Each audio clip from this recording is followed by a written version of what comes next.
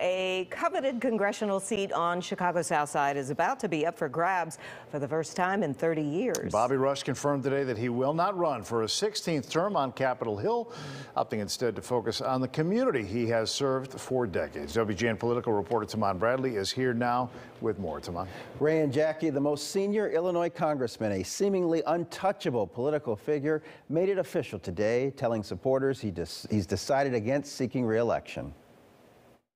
The scene was reminiscent of a bygone era. Chicagoans gathered at the Roberts Temple Church of God in Christ, where Emmett Till's funeral was held, to hear a Southside activist who took his battle for equality and justice to Washington announce he's coming home. I will not be running for a 16th term. Representative Bobby Rush will leave Congress when his term ends, but he says he's not going away. He vows to remain in public life. For me, I have a higher calling and I'm answering that higher calling. Rush rose to prominence during the Black Power movement of the 1960s when he co founded the Illinois chapter of the Black Panther Party.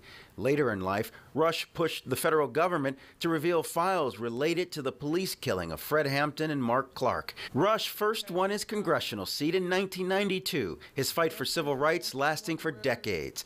In recent years, Rush has battled health issues. Cancer of the salivary gland altered his speaking.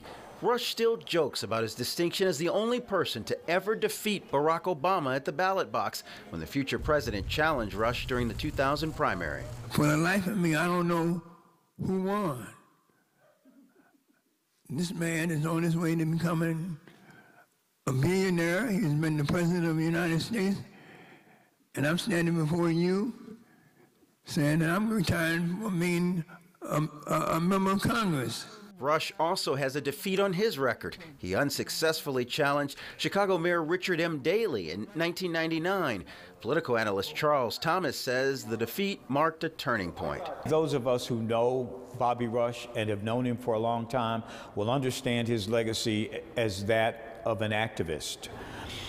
But I think he stayed too long. I don't think that there's anything that anybody will remember about Bobby Rush's term after he ran for mayor because he basically became a benign character. Before the announcement, five candidates were challenging Rush in the Democratic primary.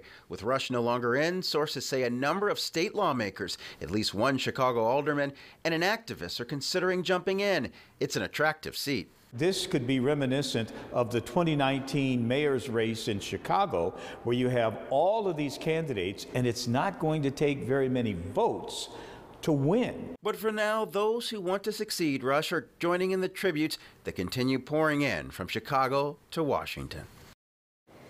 In a statement, House Speaker Nancy Pelosi said Congressman Rush never relented in his fight to lift up long underserved communities of color in Chicago and across the country. Jackie and Ray. Well, it is a big mm -hmm. pool of potential candidates oh boy, yeah. waiting in the wings. Yes, indeed. A lot of people want to be the South Side congressman. All right. Thanks, Tahman. Well, an investigation underway.